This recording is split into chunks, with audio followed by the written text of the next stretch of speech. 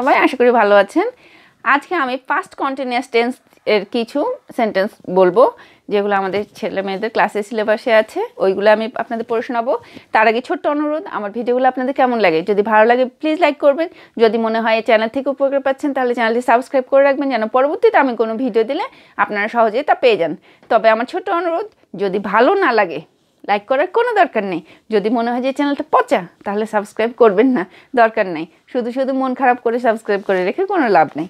আসুন, আমরা শুরু করি আজকের লেসন আমি একটা উপন্যাস পড়েছিলাম।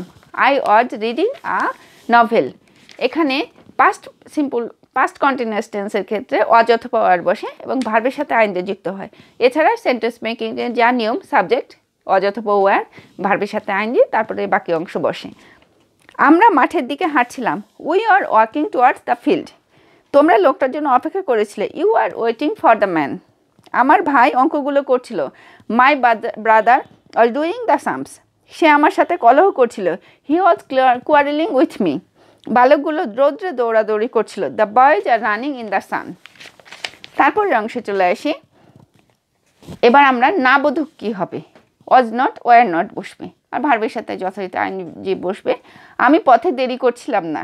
I was not making delay on the way আমরা ফুল তুলছিলাম না। We are not plucking flowers তুমি বালকটিকে ভর্সনা করছিলে না। You are not scolding the boy হে রে ভর্সনার ইংরেজি কি আমার নিজেরই মনে নাই। সে আমার সাথে কথা বলছিল না। He was not talking to me আমার বোনটি বই পড়ছিল না। My sister was not reading the book আম্মা ভাত রান্না করছিলেন না। Mother was not cooking rice এবার এগুলো যদি প্রশ্নবোধক হয়, কী ধরনের হবে? আমরা কি গোলমাল করছিলাম? Were we making a noise তুমি কি টাকা বাঁচাচ্ছিলে?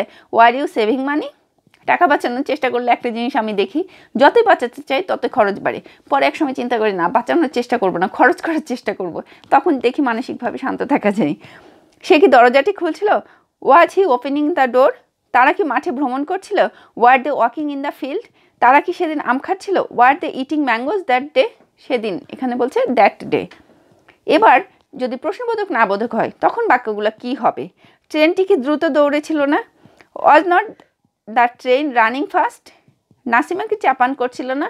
Was not Nasima drinking tea সে কি অঙ্কটি করছিল না? Was he not doing the sum Karim কি কাজটি করছিল না?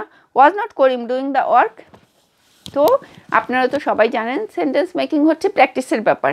প্রতিদিন যত প্র্যাকটিস করবেন, যত নতুন নতুন বাক্য তৈরি করবেন, তত সেন্টেন্স মেকিং সহজ হয়ে যাবে। তো আমরা আজকে কিছুটা বললাম, এগুলো আমাদের ছেলেমেয়েদের বইয়ের সিলেবাসের অংশ, সেখান থেকে পড়ে শোনালাম। আর এ ধরনের বাক্য আবার নিজেরা তৈরি করে করে বাংলায় মনে মনে বাক্য বলবেন এবং ইংরেজি করতে থাকবেন, দেখবেন ইংরেজিটা কত সহজ হয়ে গেছে। আর ইংরেজির ভয় করতে হবে জয়, তাই না? ইংরেজিকে ভয় পেলে চলবে না। এটা একটা ভাষা, আমরা বাঙালি, আমাদের মাতৃভাষা বাংলা।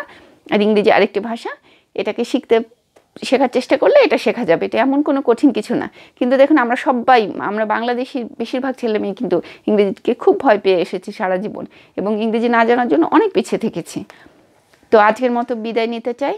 ভিডিওটি আপনাদের কেমন লেগেছে? যদি ভালো লেগে থাকে ভিডিওটি প্লিজ লাইক করবেন। যদি মনে হয় চ্যানেল থেকে উপকার পাচ্ছেন, তাহলে চ্যানেলটি সাবস্ক্রাইব করে রাখবেন। যেন আমি পরবর্তীতে কোনো ভিডিও দিলে আপনারা সেটা খুব সহজেই পেয়ে যান। আর যদি ভালো না লাগে, সাবস্ক্রাইব করার কোনো দরকার নেই। আজকের মতো বিদায় নিচ্ছি। সবাই খুব ভালো থাকবেন। বাই